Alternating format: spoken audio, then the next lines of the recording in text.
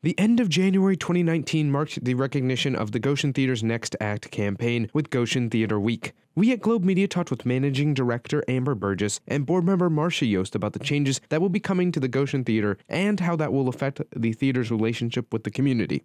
There have been a lot of significant changes in the way the Goshen Theater is being utilized and the ways that programming are being utilized and the community access to the building.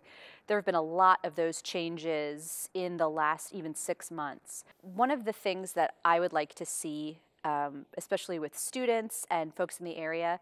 Like there's three different ways for people to support Goshen Theater. Like you can donate money, which everybody knows that that's a way to support the theater, right? You can donate. Um, you can volunteer here which is wonderful. We love having new volunteers, and you can sign up for all of that stuff on goshentheater.org.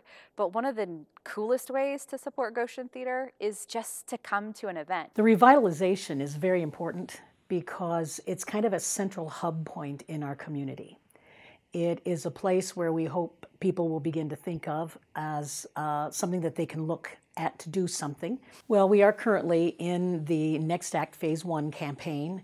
We're excited. It was a $5.2 million campaign. At this point in time, we have raised all the funds we need for the actual capital project.